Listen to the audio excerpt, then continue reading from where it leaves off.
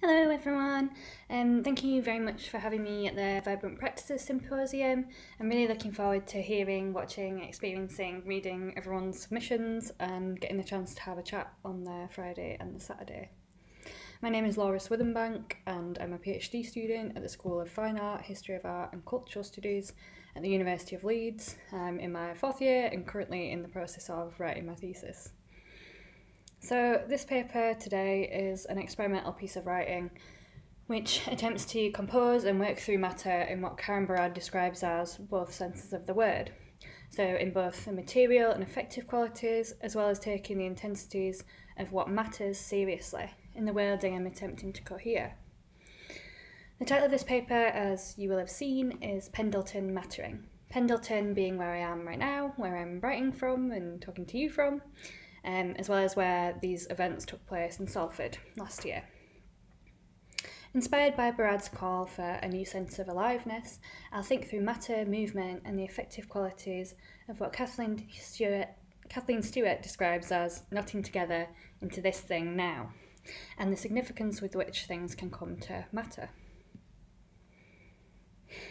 On my way back from a run around the park, I come onto the main road. It's the same road I ran up to get to the park about 30 minutes ago, but something feels different. It's a weekday morning, early on in the UK's reaction to the coronavirus pandemic. The school behind me is silent. The road, usually filled with cars, lorries, and vans, even at just before 10 in the morning, is easy to cross. Birds can even be heard in the trees behind the green chain link fence, which runs around the primary school, while blackbirds scrabble about on the ground between lost balls and crisp packets. As I jog down the road towards home, the scene feels totally different. The pavements are busier than usual, with people walking alone or in twos and threes both up and down the hill. Dispersed streams of people line the pavement in socially distanced clumps between the bus stop and the Indian takeaway and social club.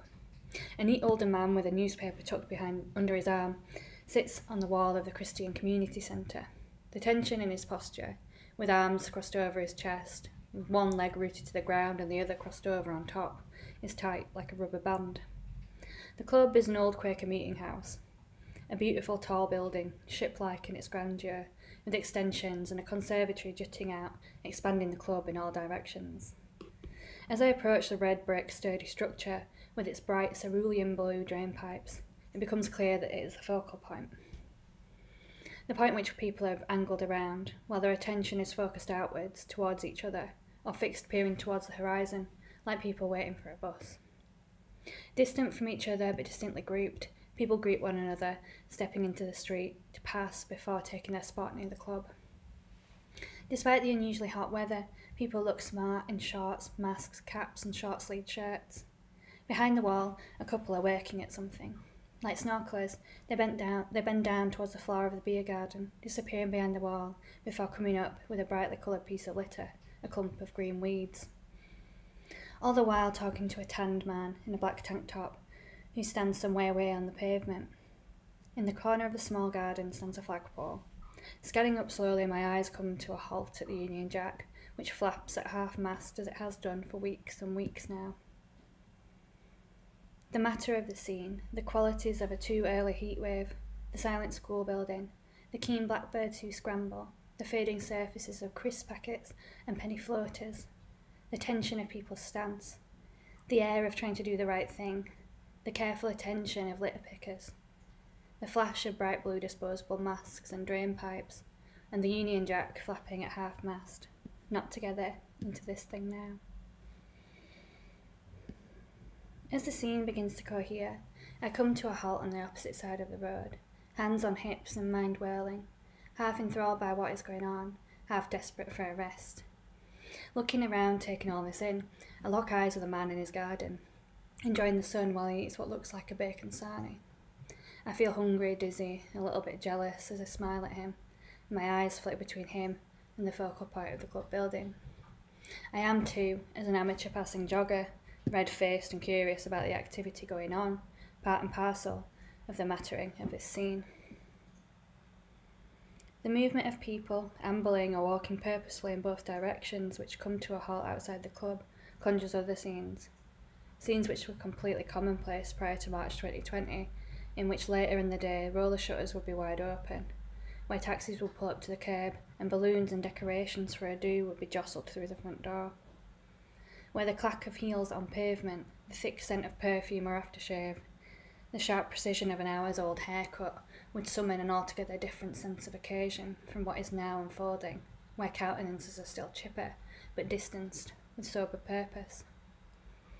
Trying not to stare too hard at the people assembled, feeling cautious of blocking the path on my side of the road, which is empty in comparison, but the main route for anyone doing a pharmacy, GP, or corner shop trip, I head off home, buzzing with the excitement of the scene, in which something out of the ordinary, something that clearly mattered enough to leave the house for, was occurring.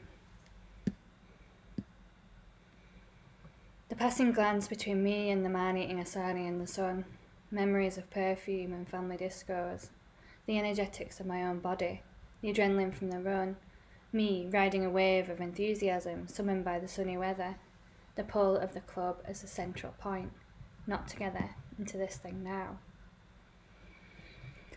When I get back home, I quickly smuggle my phone out of its holster, my hands trembling as I find the club's Facebook page. My suspicions are quickly gratified when I see a post from nine minutes ago when the club steward posted a reminder about a late member passing by on their way up to Agecroft Crem. The significance of the scene spills off the screen with streams of comments wishing the family of the recently departed well. A swell of photographs and memories tumble off that post, as well as the many similar posts beneath, extending information and sympathy from the committee, the stewards, the members, about different people. Not necessarily asking them to turn out to witness the hearse's passing, but circulating the news so that people can share a moment collectively to think of, to remember that person. I close the app, and as I make a move to untie the laces of my trainers and get back to work, I think of the flagpole at the Working Men's Club I am attached to and a member of over in Huddersfield. I think of our stewards stewardess and our president charged with not only the maintenance of the club building and the grounds, but also the stewardship of that world, of the 400 or so people who make up its membership. I think of our own flagpole and whereabouts the Union Jack sits and what is happening out by the pavement there over the Pennines. The streams of comments, of photographs, the swell of well wishes, happy memories, sadness, and respect the emerging sense of devastation, the realization of the intensity of the situation, of how and how much this thing, this scene, matters, knot together into this thing now. Thank you.